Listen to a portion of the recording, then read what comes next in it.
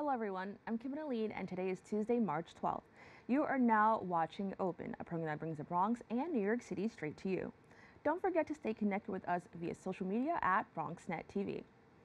In 1831, a group of social activists realized the importance of providing educational opportunities to individuals who were blind. They established the New York Institution for the Blind, now known as the New York Institute for Special Education. This institution offers two programs, one for the blind and visually impaired, and another for developmentally delayed children. Vocational teacher assistant Rosalind Wright and transition specialist Mary Catechis joins me to discuss the school and its efforts.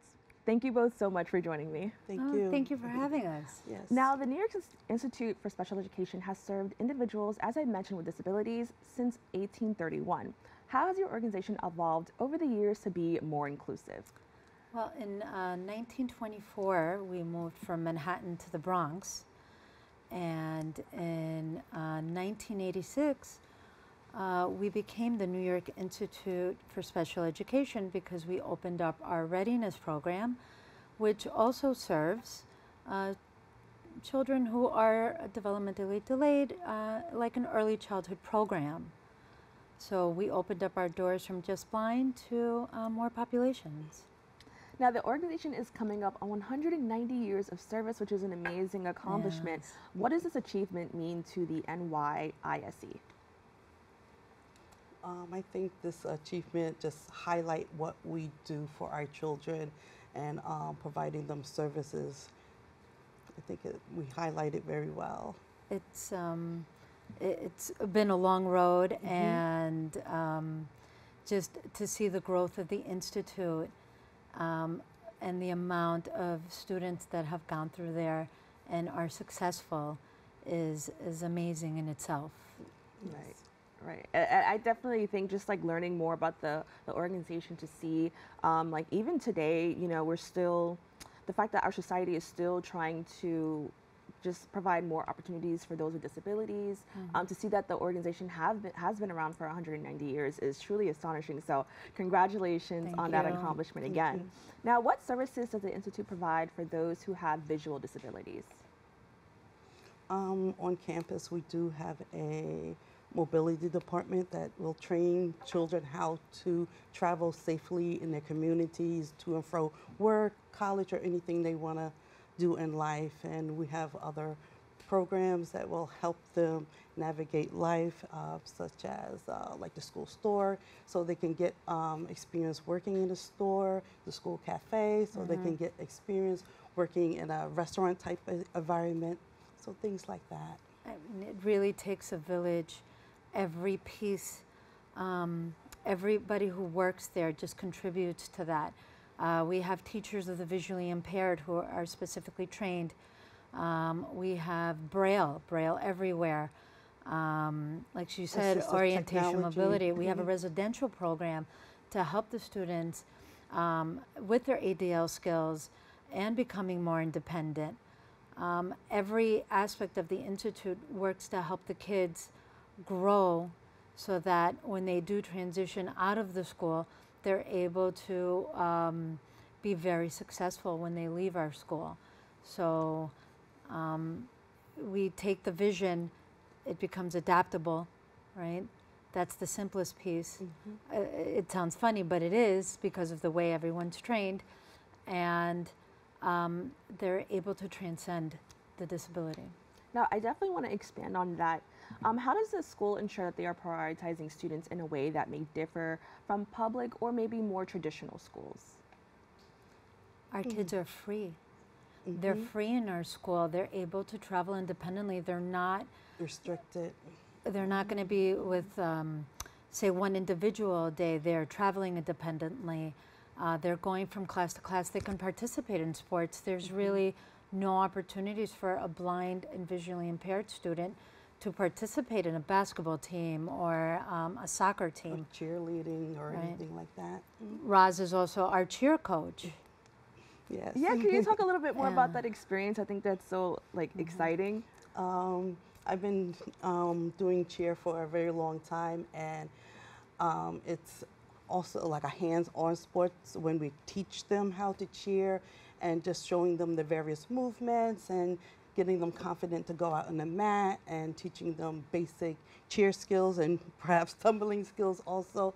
And it's a good experience for them because a lot of times those things are not open to our children to experience sports like that.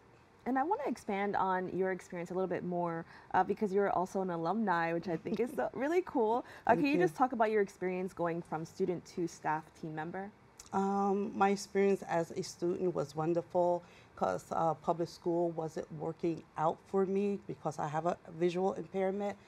And I started the Institute about uh, eighth grade and um, I had a wonderful education there. I was open to do sports like cheerleading.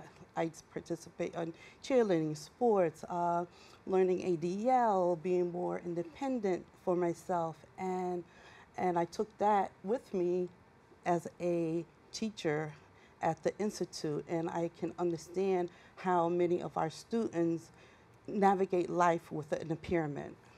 That's amazing. So would you say that that experience kind of helped you um, kind of transform or just like shape the way you, you interact with the students now? Um, yes, um, I, I think I interact with them well because of, of my personal experience and what I have been taught in the field as a um, teacher, uh, assistant at the Institute, and just doing various programs and starting various programs to help them navigate and be successful in life. Well, She's a role model. She's yeah. a role model. Oh, thank you. thank now, you. Mary, can you talk a little bit more about your experience as transition counselor um, mm-hmm. and how you prepare students for higher education and life after school? You know, there, um, there's a lot of career exploration. Uh, you know, we try to foster the career awareness. Again, when students can't see, it has to be more experiential. Mm-hmm. Uh, we have our PAYS lab that they get to experience jobs. Uh, we have internships, volunteer opportunities. Um, so we started with a foundation of what are careers and uh, let's try everything. Mm-hmm. Um, and then also we have the college piece. So we are connected to the College Now program at Hostos. So our students are able to take college credited classes to make that transition better.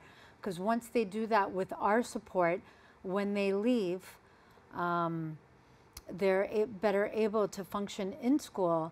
And, you know, we're trying to beat the rates um, of students dropping out. We're trying to beat the rates of joblessness. Right now, we have a 100% graduation rate at our school.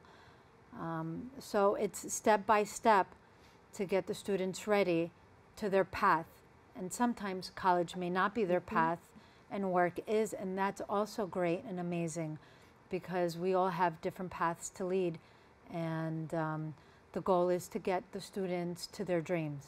Now, you mentioned internships, and I understand there's a really cool internship that has a connection with NASA. Can you tell us a little bit yes. more about that? uh, we started that last year.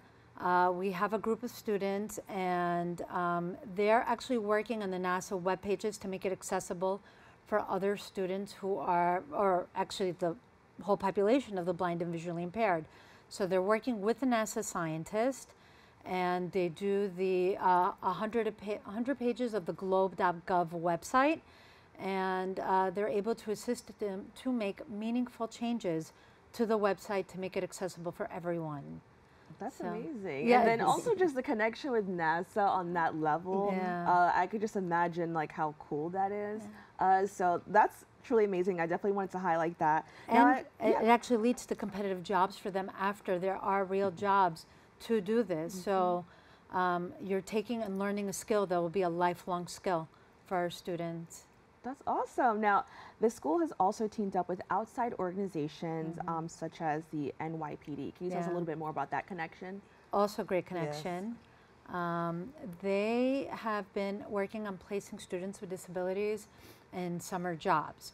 So last year, we began working with them also and uh, they had one student in IT, they had another student in the medical division, um, and they offered these amazing opportunities with training um, and placement. This year, we're also working on um, hopefully placing a student and working with the animals. So there's so many jobs in the NYPD that are not a police officer that they're exposing our students to to give them those opportunities and um, build an equity um, for the jobs there and for our students. Um, Roz actually got to um, participate in some of that last summer Yes, in the I- training. Yeah, Yeah. can you talk about that experience? Um, last summer, I went down to the NYPD um, headquarters in Manhattan, and they showed us what the kids will be doing, like in clerical, and what their responsibilities w- going to be for the summer, how they should act, how should they dress. This is a real job that they are going to, and many of the officers emphasize how, um, what you need to be competitive in that field and what they expect from you. And they didn't hold back saying, Yeah. you know, we're going to treat you as any other employee coming into the NYPD summer program. Wow, so this sounds like so many amazing opportunities, and uh, and I'm really glad to see that there, you know, there's an organization that is putting in the work. You know, how can people learn more about this organization? But more importantly, um, how can maybe a parent or a student um, know if this is, uh, I guess, the right community, or when or how they should join? Um, they can check us out on our website, www.nyise.org. They can call us, 718 519 7000. There'll always be someone there to help you and connect you. Um, they can come in for a tour and visit the campus and see, you know, my child has, you know, is visually impaired, legally blind. Is this right for them? They could also check out our readiness program. Um, we're there to help and we're there to support kids. We also have a, a few events coming up for the 190th, right, Roz? Yeah, we have an art show coming up. We have a gold ball tournament um, coming up, and in what a week? Yes. A week. Which is the only sport for the blind, in which we have all the, um, we have a lot of schools Blind. coming in to compete against our students. six schools coming in from the eastern border, North, um, North Carolina, like uh, Boston, schools like that. They're coming, coming, going to come to the institute in another week to participate in that sport. Wow. Well, the, Check out our website. Yeah. You'll be able to see everything and um, see all the great things that the Institute does.